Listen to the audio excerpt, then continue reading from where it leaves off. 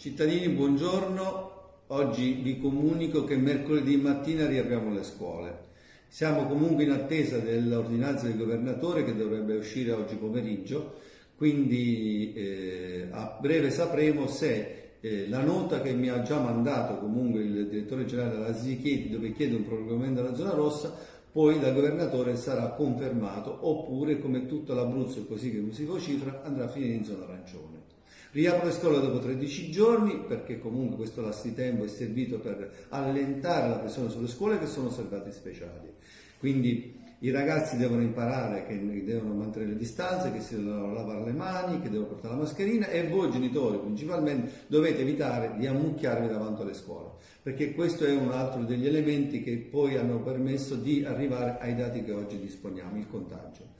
Vi comunico che comunque continueremo a fare i tamponi e quindi dovete venire anche sabato e domenica perché ho trovato i volontari che ci vengono a dare una mano, portate i ragazzi così mercoledì quando torneranno a scuola sarete sicuri che i vostri ragazzi non sono contagiati dal Covid-19.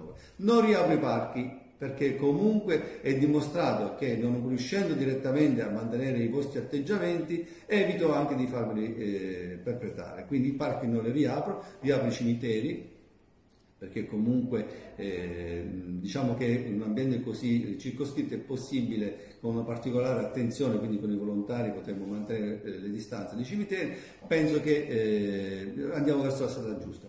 Ho ascoltato il dottor Giardinelli, che a breve ascolterete anche voi, che è un parere autorevole sulla questione San Giovanni Teatino. Cittadini, buongiorno. Qui davanti a voi c'è il dottor Alessandro Giardinelli, responsabile medico del centro vaccinale di San Giovanni Teatino e se guardate bene è la persona che vaccina i nostri figli qui a San Giovanni Teatino, è uno che conosce bene la nostra realtà conosce bene a livello clinico la questione epidemiologica, ho chiesto un consiglio a lui su come organizzarmi sulla riapertura delle scuole e che cosa pensa di quello che si potrebbe fare a San Giovanni Teatino per cercare di uscire il prima possibile da questa emergenza sanitaria. Buongiorno a tutti, eh, viviamo in un momento di difficoltoso e quindi devono essere prese assolutamente delle precauzioni a livello sociale per, per, contenere la pandemia. Sappiamo che adesso ogni settimana c'è un 20% di più dei ricoveri ospedalieri, con una saturazione ormai degli ospedali, sia quello di Pescara sia quello eh, di Chieti. Eh, bene hanno fatto i comuni che hanno fatto lo screening per scovare gli asintomatici, perché gli asintomatici sono coloro che senza sintomi però purtroppo diffondono eh, il virus eh, nella nostra società e credo che sia stata anche opportuna la chiusura delle scuole perché come sappiamo sono i giovani che eh, purtroppo essendo loro stessi in gran parte sintomatici portano il virus nelle famiglie. Rivolgo proprio soprattutto ai giovani, cercate di usare tutte quante le precauzioni perché siete proprio voi che riuscirete con il vostro buon comportamento a evitare che il contagio si diffonda ancora di più.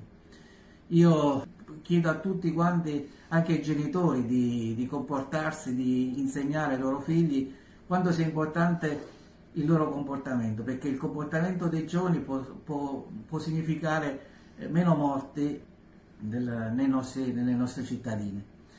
Quindi mettiamoci al lavoro, lavoriamo l'uno per l'altro, difendiamo ognuno la vita degli altri. L'intenzione di riaprire mercoledì perché c'è un ponte, quindi evitare anche nel giorno di carnevale di far uscire i bambini di casa, perché voglio ricordare che se dovessimo rimanere in zona rossa si esce per motivi di lavoro, di salute o di problemi urgenti. Per il resto i ragazzi devono stare a casa e quindi purtroppo devono stare a casa e quindi solo così riusciamo a contenere. Pertanto credo che mercoledì possa essere una data giusta. Sì, concordo con questo. Ricordiamo che anche gli assembramenti vanno evitati. Fuori dalla scuola. Fuori dalla scuola soprattutto eh, anche perché con, eh, oggi i, malati eh, sono portatori al 50% della variante inglese che è molto contagiosa e quindi assembramenti, scuole, pranzi, feste eccetera vanno, vanno evitate comunque. E speriamo che il Comitato Tecnico Scientifico fra qualche settimana ci darà buone notizie di tutto questo lavoro che adesso stiamo facendo. Grazie tante dottore, buona giornata. Grazie.